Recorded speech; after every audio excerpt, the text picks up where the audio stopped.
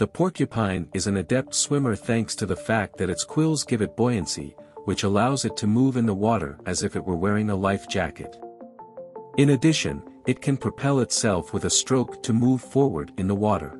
If you liked the video please like, subscribe and share.